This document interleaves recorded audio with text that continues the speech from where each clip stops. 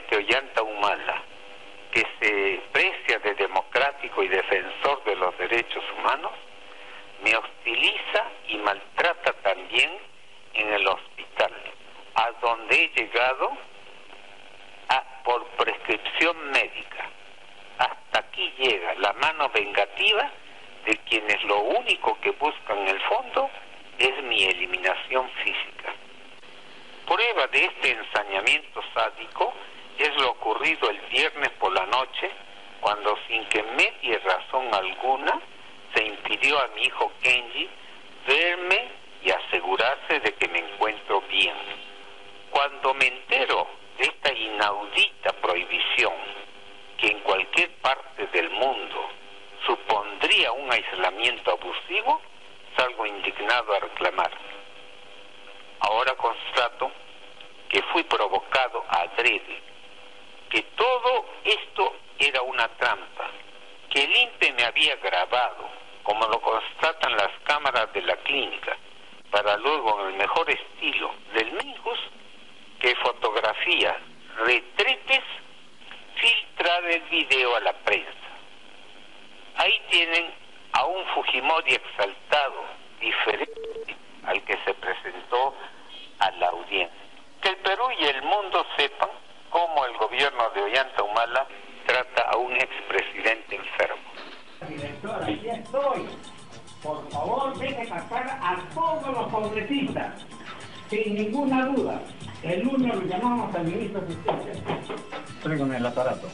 ¿Está abajo o no está abajo? No está ahorita. Entonces, por favor, ¿Cómo lo comunicamos? 98, 90. ¿Con qué mágico brebaje ha conseguido la medicina fujimorista que en menos de 48 horas Alberto Fujimori deje de ser este anciano lánguido y macilento que se mide la presión y se convierta en este enérgico señor que aunque en bata, grita, ordena y exige? No, no, no. De la clínica. Ahora me voy a atender todo por la clínica. Estas imágenes han sido registradas el último viernes cuando Alberto Fujimori estaba haciéndose sus chequeos de rutina en la clínica Centenario.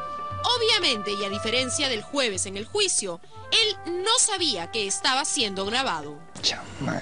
Aquí podemos ver a un Fujimori en una bata médica blanca, peinado, eso sí, que se pregunta extrañado por qué su hijo Kenji no está a su lado. Con razón me llamó la atención. Yo voy a dormir y no un qué raro. Y estoy en un aislamiento. Entonces pide que le traigan un teléfono para llamarlo. Tráigame el aparato. No, no, no. De la clínica. Ahora me voy a atender todo por la clínica. Camina hacia otro ambiente donde le piden que se siente un momento para tomarle la presión. El ya ofuscado Fujimori exige que el personal del INPE le dé espacio. Ya, ya, ya, ya, todo lo que quiero. Pero un poco tranquilo. Por favor. Por favor, señor. Por favor, un ratito más allá.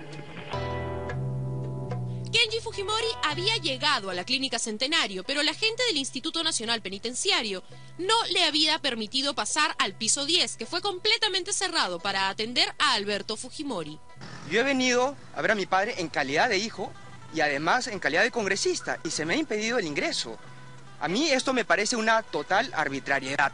Y el condenado expresidente, enterado de esto, entró en trompo. No, no, no, que tiene que pasar. No, tiene que pasar. Quiero asegurarme. ¿Quiénes son ustedes para detener a un congresista? Estoy trayendo mi carro, ¿ya? Estoy yendo ahí coordinando con la señora ¿Quién, quién señora El director, el director general de. A ver, déjeme en la línea, por favor. No, qué cosa. Entonces se acerca a la estación de enfermeras y pide hablar con la directora de la clínica. Yo quiero hablar con la directora. Sí, comuníqueme, por favor. Señora directora, aquí estoy. Por favor, deje pasar a todos los congresistas. Sin ninguna duda. El lunes lo llamamos al ministro de Justicia. ¿Usted, señor, es? Dígale que estoy con una presión. Señora, señora Casi, estoy con 210, 110. Deje pasar a todos los congresistas. ¿El presidente del INPE no un congresista? Sí. Señora Casi, por favor, deje pasar a mi hijo, congresista. Nadie lo puede detener. Y usted puede ser responsable porque se le ayuda la presión. Y lo más misterioso ocurre un momentito después, cuando finalmente permiten el ingreso de Kenji Fujimori a la clínica. Alberto Fujimori lo ve, recibe el abrazo de su hijo, intercambia tres palabras en voz baja, pareciera que le entrega algo y luego le dice que se vaya. Anda por ahí para que no te O sea, veto a saber. Estas imágenes no tendrían ningún valor si no fuera porque el día anterior el sentenciado por derechos humanos y corrupción se presentó a su quinto juicio oral, el de los diarios Chicha, en este estado.